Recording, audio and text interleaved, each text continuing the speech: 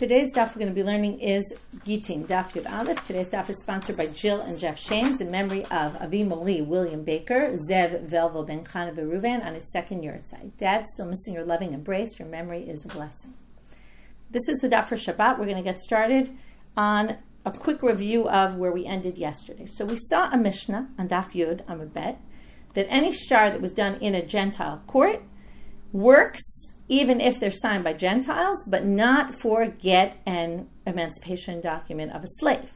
Rabbi Shimon says, no, even that works. Okay, and then we tried to figure out, and then we had this line, which we have to figure out today, which is, Lo huskaru ela bizman hedyot. Only if it was done by a hedyot, a regular person, is it a problem. But in a court, it's totally fine. So let's go through. Again, review. If it's regular money documents, well, of course, if it's done in court, they have their name to stand up to. They're not going to lie. What's the problem with get and shikor evid? Well, they're not part of that whole. Right, this is a more Jewish thing. The Gentile slaves that kind of work in your house become part of your family and and become semi-Jewish. Right, when you free them, they become Jewish. That's a whole unique Jewish concept. So is get. Right, obviously there's divorce, but this type of the way to do a get is a uniquely Jewish thing. So there, Gentile signatures don't work. However, Rabbi Shimon thinks they work. And why do they work? And then we explained at the bottom of the daf yesterday, they work because it's really not that they work. It's that we hold like Rabbi Elazar, Rabbi Shimon holds like Rabbi Elazar, the Edim Asir Karta, we actually hold that way also. It's important the ones who see the get being given. It's not so much the importance of the dot, of the signatures on the shtar. What about Rabbi Elazar? Um, what about Rabbi Abba, who says that Rabbi Elazar agrees that mezuyaf mitocho shu pasul. If you have disqualified witnesses, it doesn't work.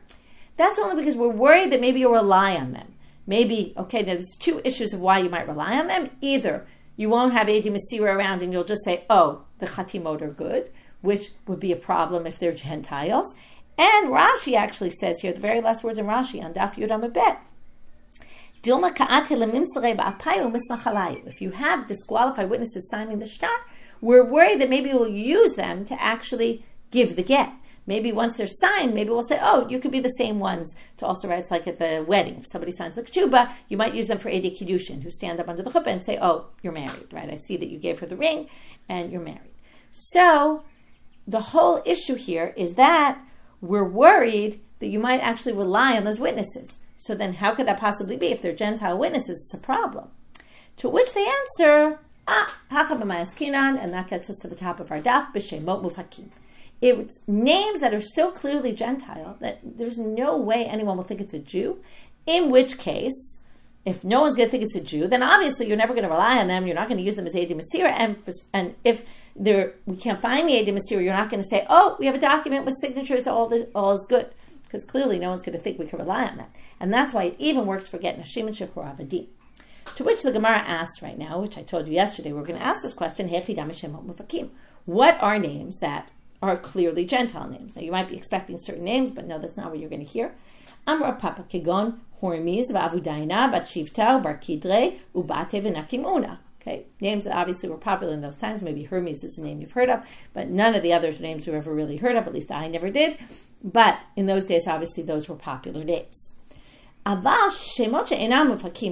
Low. So now we're going to say that infers if the names are not clearly Gentile names, they're Gentile names, but it's not clear that only Gentiles have those names. Some Jews have those names also, right?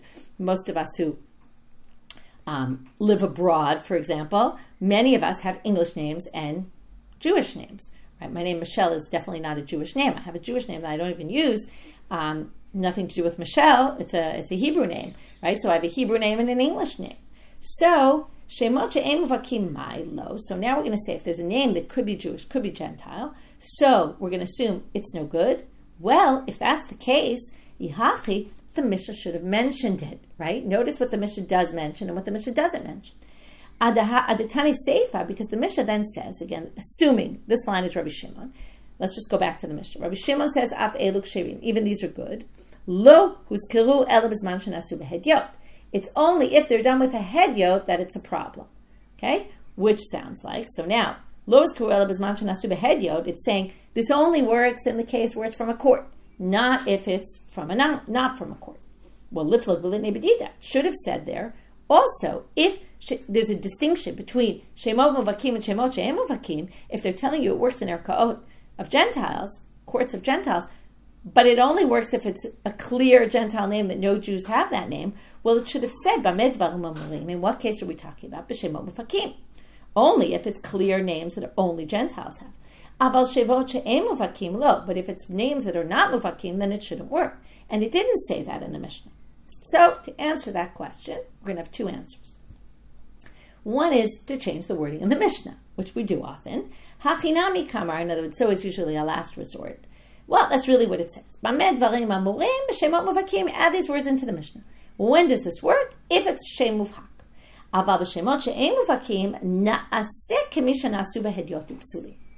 It's as if it was done like a hedyot and it's disqualified. Meaning, if it's done by a hedyot, of course it doesn't work. If you did it with names that could be Jews, could be Gentiles, we don't know which it is, then there's a concern that again, what's the concern? That maybe people were lying in, and maybe it really was a Gentile name, and therefore it's going to be a problem, and therefore it's treated like it wasn't done in a court, and it's actually disqualified. And that's how they reread the Mishnah. So that's one way to explain that line.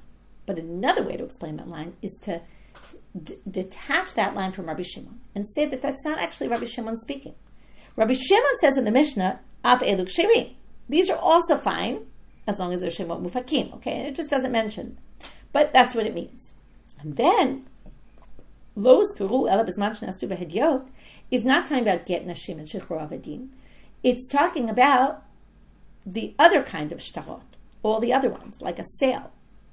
Where, what's the difference? There, the signature is used just as a proof document, right? So, Ibayit Ema Seifa Atan Legite Mamon. Some people say that line is talking about monetary documents, not get and emancipation documents. V'hachi kama, and this is what it says. Loz kalum.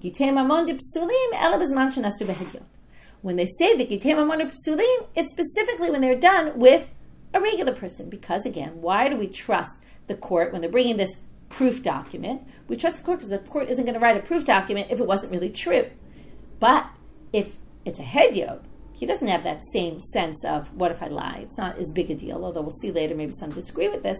But that line is talking about regular documents are only if they came out of a, Gentile court, but not if regular Gentiles just signed on it. We don't trust them. Tanya. Now we're going to have Rabbi Elazar says, Amar Rabbi Elazar Rabbi Yossi, Kach Amar Rabbi Shimon We're now going to have another more elaborate version of, of Rabbi Shimon. Rabbi Shimon said to the rabbis, he was arguing with them about this point. Again, let's just review. The rabbis said we can accept Gentile courts for monetary documents, but not divorce or emancipation. And Rabbi Shimon said it's accepted across the board. Okay, and we're assuming now it's accepted across the board. Again, there was this debate about the hedyot. Maybe all of them are only accepted if they're done in the court, but not individuals, or maybe the individual part was referring to right only part of the statement, not the whole thing. Anyway, we'll leave that aside for right now, but I wanted to point it out because here we're going to have some other way of understanding the Hedyot. So Rabbi Shimon said to the Chamim in Sidon, that's a place which is now in Lebanon, לא נחלקו רבי עקיבא וחכמים על כל השטרות העולים בערכאות של עובדי כוכבים. The rabbis and Rabbi Akiva in the previous generation, the one right before Rabbi Shimon, says they all agreed that shtarot that come out of a Gentile court, all shtarot, Okay, we're going to say this now. Even Avadim, Even though they're signed by Gentiles, if it came from a Gentile court. Everyone agreed to that. Okay, he's basically saying to the rabbis, you're wrong in thinking to make this distinction because everyone in the previous generation agreed that that's not a problem. So, if so, then obviously, if he's pointing out Rabbi Akiva and the rabbis, they must have disagreed about something. Their debate was only if it was outside the. And now we're going to see that there's a debate about outside the court.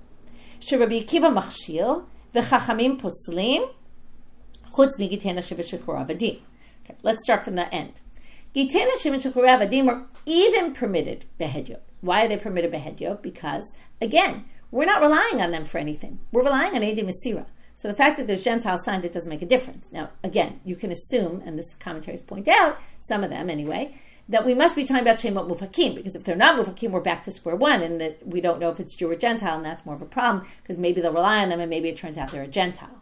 But if it's clear Gentile name, it doesn't matter, court, not court, it'll be accepted, because in the end, we're relying on the Adim that saw the get being given to the woman, which was the most important part, because we call them Rabbi Elazar. But what's their debate? Well, if the document of the monetary document was done by a hedyot, Rabbi Akiva says, Machshir, we trust the hedyot also. Any Gentile has his reputation on the line. He's not going to sign a document unless it's true. And Chachamim Poslim, they say, no, no, no. Only a court, an individual, we're suspicious of.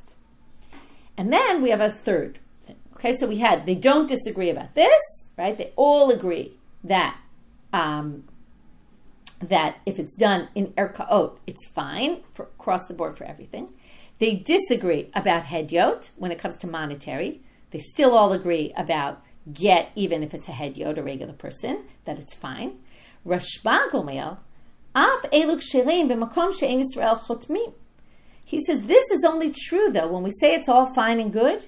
It's in a place for the get and the neshachor eved where Jews don't generally sign documents. Then we can assume, and this maybe shows maybe it's not Shemot Mufakim, but if Jews don't sign documents, and Rashi says, what do we mean by this?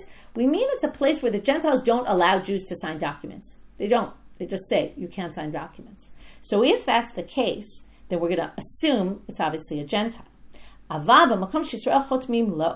if it's a place where the Jews sign, then it's more of a problem. Okay?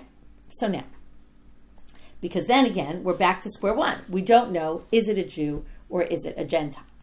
So now the Gemara says, wait a minute. If we're going to distinguish between places and say a place like this, it's okay. A place like that, it's not okay. Well, then we have a question. They say, nami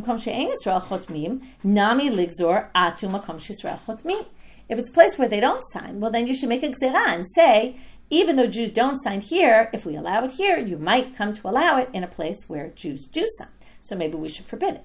To which they answer, Shma bishma michlif. Okay, people might confuse names with other names, and if we allow certain names, you might come to confuse and think other names are okay, and that is a problem. But atra ba'atra, and therefore we're going to forbid. But atra ba'atra lo But we're not going to have people confuse this location and that location. If, if things are done differently in this town than they're done in that town, we can understand that there's distinctions in the law. And we're not going to say just because it's permitted here, it's permitted there. That kind of thing we don't worry about. Ravina Saralach Shure B'Knufiata Daramai. Okay, there were Arameans who had this ad hoc court. It wasn't a real court, it wasn't Erkaot, it was an ad hoc court. Knufia is when they get together. Okay, in Hebrew, right? Knufia is a gang. That's where people gather together. So here he wanted to permit it in this group of people that got together to make an ad hoc court. Amar Rafram Erka Otzna. Rafram said, no, no, no, it has to be something formal. Here you see, now the question is, what are they referring to? Some people say they're referring to the Mammon according to the rabbis. In other words, because we already said, get Nashim and all that is even fine in if it's not Erkaot. So maybe what they're referring to is monetary documents where we said it has to be done in a Gentile court according to the rabbis against Rabbi Akiva, who said even if it's not in a court. But uh, words, again, the rabbi said it had to be done in a court. So what does court mean? Court means they generally hold court there, and not that they decided one time to have a, an ad hoc court. Amarav. Rava gives an example now. Haishtar parsa Israel magbina Okay, maybe it wasn't a particular case, but he says if there was a star written in Parsit, Persian, and it was given in front of Jewish witnesses, again, Edei Mesira, they, okay, so you owe me money, and you pass the shtar to me saying I owe you in front of two Jewish witnesses. But the, the document was written by Persians and presumably signed by them, Persians. Magbina I can then collect the money from free property. What does free property mean? Free as opposed to mishuabat, which is property with a lien on it. Okay, what does that mean? This means that if you owe me money and we had a, okay, if we did it balpet orally, I can only collect from free property. Free property means property that's in your possession right now. So I can only take it from property that you have. But if we had a star written out in general, not a star parsi, because star parsi is going to be different.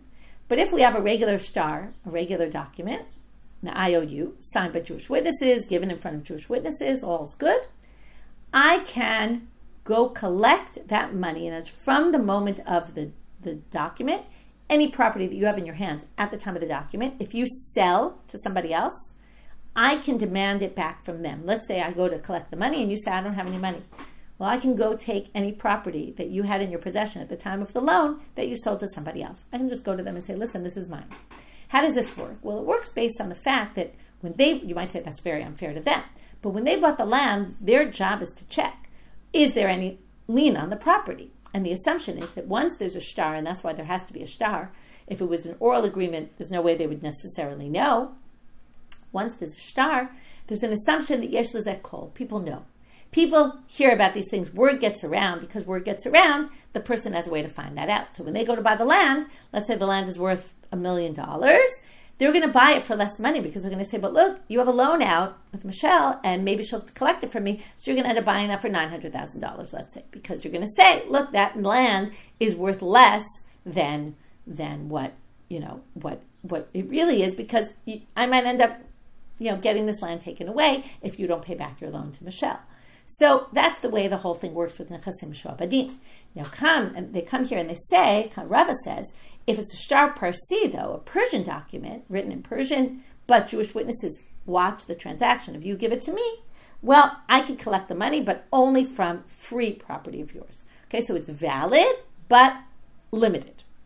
So now they want to understand why. So the first thing is, why is it valid at all? Vahalo yad mikra. But the Jews can't read Persian, so they don't even know what's written in it. So how could they serve as witnesses to this transaction that went on when they have no idea what it even says in the document? Bidiyad. It must be a case where they know Persian. Okay, obviously there were Jews who knew Persian in those days. But wait, there's two other issues, which is there's rules about documents of Jews that we have rules in our courts that the Persians clearly don't have those same rules. Now, what are they? Well, both are to prevent forgeries. What are we worried about? If you give me the document, the IOU, and I keep it in my possession, if it's parchment that I can erase, I can change instead of 400, instead of 100, you know, 400 shekel, I can change it to 800 shekel, right? I can erase it and fix it. So you need it to be written in a way that it can be forged, which means you have to treat the parchment in a particular way, almost like maybe a shellac. You would put this gall on it, and that would make sure that you can't erase. To which they answer, Bidat why do you assume in the Persian document doesn't have it? You could say it, it would this would only be if it was a Persian document that they did this. They treated it with the gall.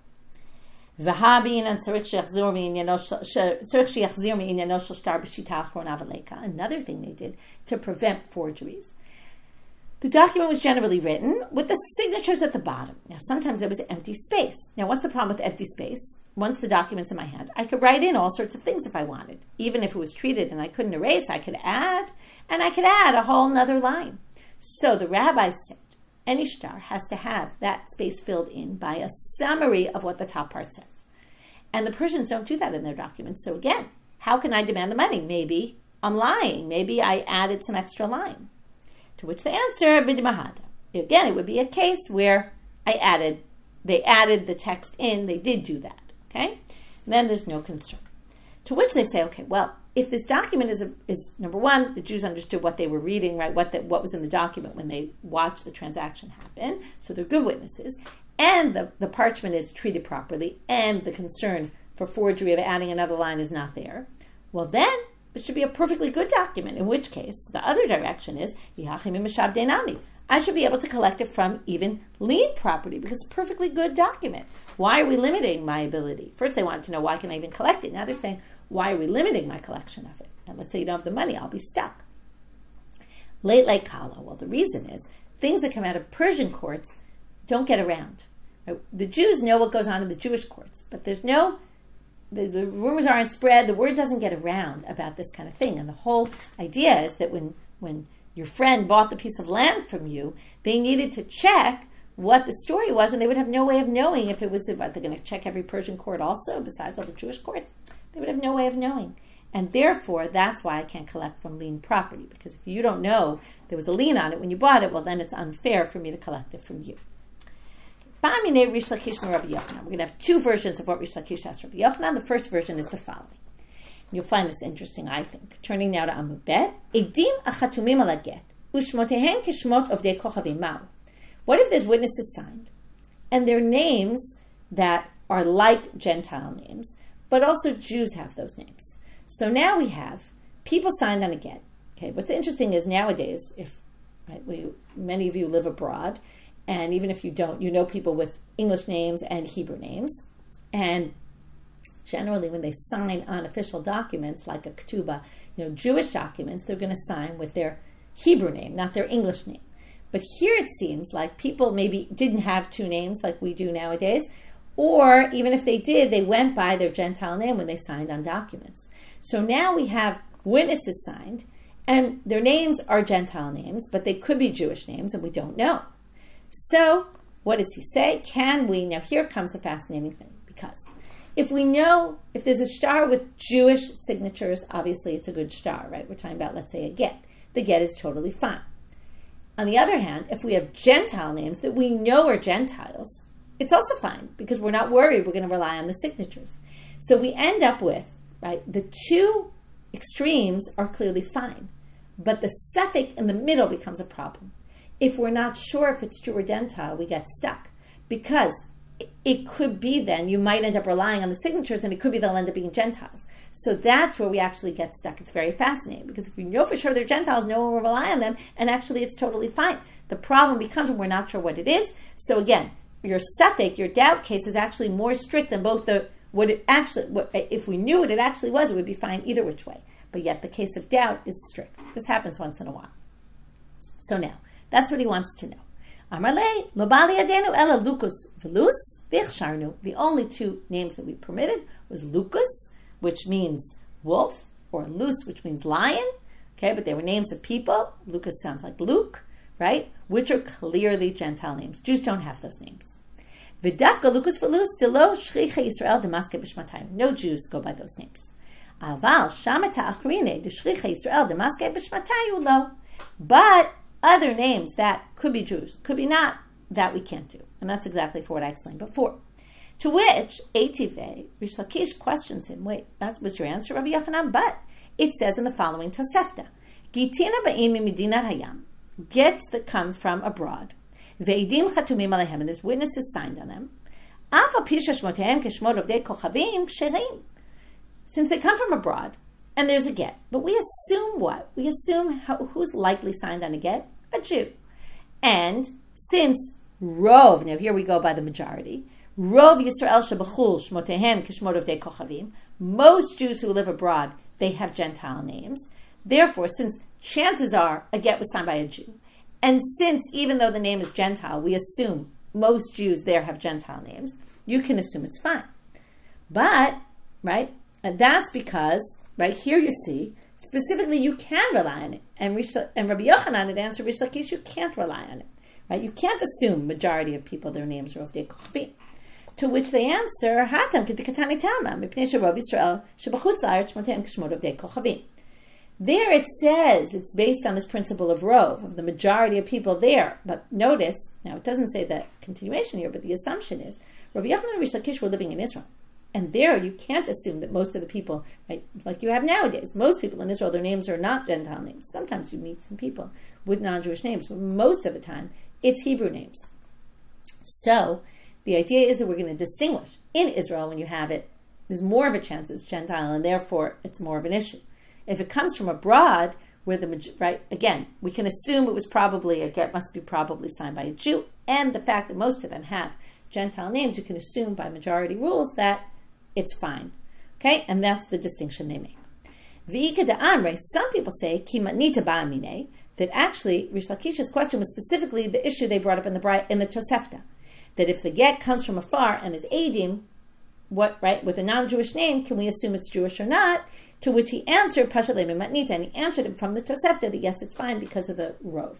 And then he's only dealing with that. It wasn't a case where there was a question on something else. He answered it and then raised a question from the Tosefta, but he actually asked the question of the Tosefta, and then Rabbi Yochanan said, "Oh, it's an explicit Tosefta, and here's your answer."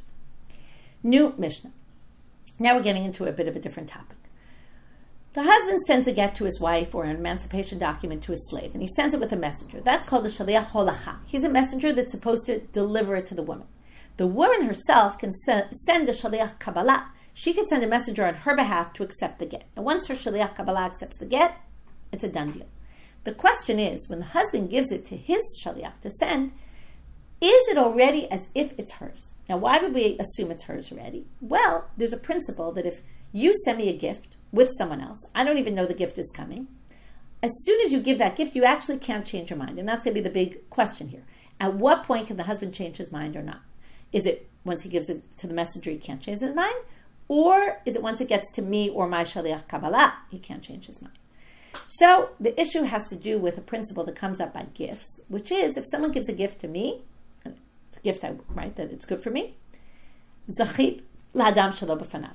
Once you give that gift to the messenger, it's mine because that messenger can take, can acquire it on my behalf because it's good for me. But if they're giving you something that's bad for me, it's only until it gets to my hands that it's mine. Okay, that's the principle. Zachin la'adam shelo b'fanav. You can do it for a person if it's a zchut, if it's good for them, even if they're not there or don't know about it. Ve'ein chavin la'adam shelo b'fanav. But we don't do something that's bad for them unless it actually gets to them, or in this case, if she sent her own messenger, then it would also be as if she accepted it. So the Mishnah says, "Ha'omer tnu get elishti." So here's the case: the man makes a shaliach holachat. He appoints a shaliach to bring the get to the woman. Ushtar shechor avdi, or an emancipation document to his slave. Im Rabbi Meir says neither of them is accepted until it actually gets to the woman, or again to one of her messengers that she sent to accept it on her behalf. Meaning, it's not at all accepted. But Chachamim omrim, begite nashim avalo avadi. Beget, in a get case, it's not a get until she gets it. But in, a, in an emancipation document, as soon as you give it to the shaliach, the person is free. Why is that? Because you can do good things for a person when they're not there, but not things that are a chov for them, that create an obligation for them, or something bad. So what? Why is a divorce bad for a woman, but an emancipation document is good? Well, if you want to decide you don't want to feed your slave when he's your slave, you actually can do that. But you can't decide not to feed your wife. So therefore, when you emancipate the slave, he gets his freedom, and it's not like you're making him lose out because if you didn't want to give him food when he was a slave, you could have. So the fact that now he doesn't get food from you isn't really a loss.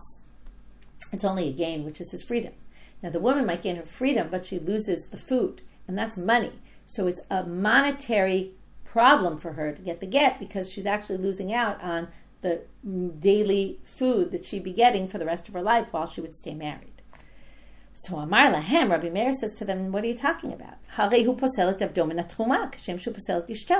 Why did Rabbi Meir say the husband can still change his mind? Because he views this as a chov for the slave also. Because, for example, if the Kohen, if it was a Kohen who owned the slave, the slave gets to eat truma as long as he's the slave. But as soon as he, he emancipates the slave, the slave can't eat truma anymore because he's not part of the Kohen's family. So, just like the wife can't eat truma, also the slave can't eat truma, and therefore the slave should also be considered a chov. And you shouldn't be able to, right, just by giving it to the messenger, shouldn't, the messenger isn't you know, on his count. Um, they said no. That's an indirect result. It's not a direct result. What happens? Why doesn't he get the truma anymore? Because he only gets the truma because it's considered the property of the of the owner. Once he's no longer, once he's freed, he's no longer the property of the owner, and therefore he doesn't get the truma. But it's it's very indirect. It's not a direct result, and therefore that's not considered a chov. Okay, it's not considered a, an obligation for him. Yativ Rav Huna Rav Yitzchak Bar Yosef came to Rabbi Yirmiyah. Now the Gemara tells a story. Rav Huna and Rav Yitzchak Bar Yosef were sitting in front of Rabbi Yirmiyah, the Yativ Rabbi Yirmiyah become a. There's a bunch of stories like this.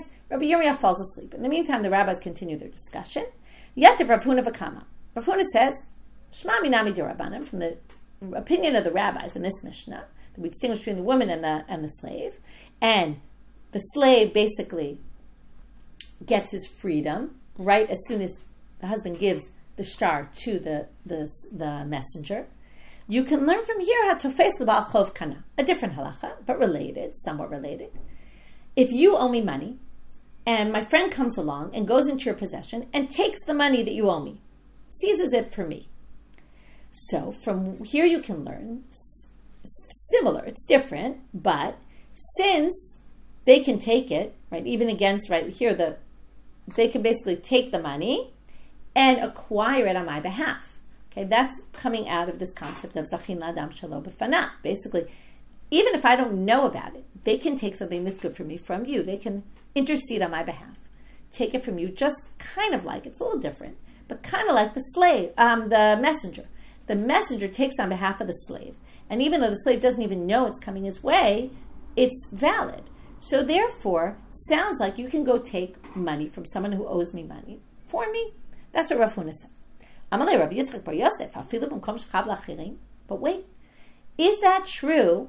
Can my friend Jane, let's say, go take money from you that you owe me when you actually owe money to Joe and and David as well? Okay, now because when Jane takes the money from you, she's actually creating a loss for Joe and David, potentially, because maybe you don't have enough money to return to everybody. And then by her taking from me, that causes a loss for other people.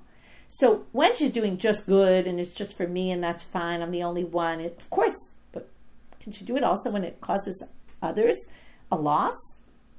To which, right? Because theoretically, if I take the money myself, I could see that could cause a loss to Joe and and and Dave, David because that's me. But can some, I can I send a messenger that causes, or, or can they do it without my knowledge and cause a loss to somebody else? It's actually a very interesting question.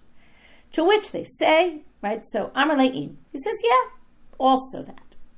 Adahachi Rabbi. Now, in the meantime, Rabbi Yirmiyah wakes up, somehow heard what they were talking about, even though he was sleeping.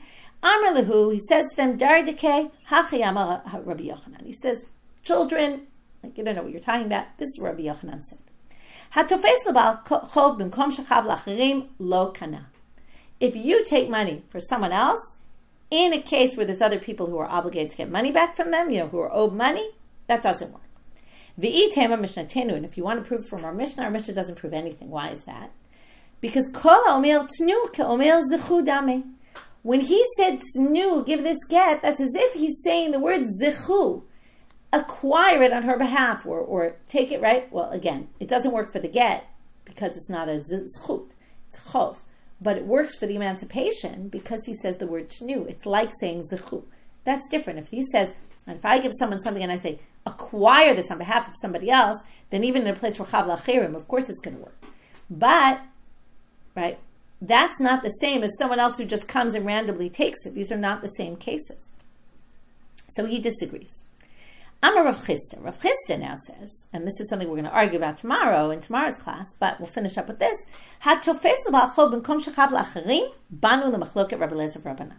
You want to know what the answer to this question is? Can they take it on my behalf without my knowing about it when there's a loss to Joe and David? Well, it's a machloket Rabbi Lezer Rabbanan, and their machloket has to do with a charity case. Ditnan, as it says in the Mishnah, Misha the the corner of the field is left for the poor people. Let's say someone goes and collects for me. I'm poor. They go and collect and they take from me. Now, the idea is the poor people are supposed to go and take their stuff. What if someone else collects? Now, obviously, when they collect it for me, they're causing a loss to all the other poor people who could have collected it for themselves. Now, they won't get it, right? It's I think always think of this example of saving a parking spot, right? Saving a parking spot for someone always seems unfair. It's true you got there first, but you got there first by foot, not not by driving. The way parking spots work is whoever gets there first gets it. Same thing with payah. Whoever gets it gets it. Now, if someone takes for you, that's almost like cheating. It's not exactly fair. Okay, again, there's two sides to the story. Someone might say, "What do you mean? We got here first. We're saving the spot. It's fair." So it's a good question. So they say here. So he collects the pay and says, This is for, I'm collecting this for Michelle. Rabbi Eliezer Omer zacha lo. Rabbi Eliezer says this works even though it's Chav Lachirim. And Chachamim omrim yitznen la'ani anim rishon. Chachamim say, no, no, no, it goes to the first poor person he finds. Okay, you can't, right, we're assuming this person wasn't poor, and he has to give it to the first poor person that shows up. You can't save it for other people. Okay, very interesting question. So with that, we're going to finish. Tomorrow they're going to say, is this really one and the same?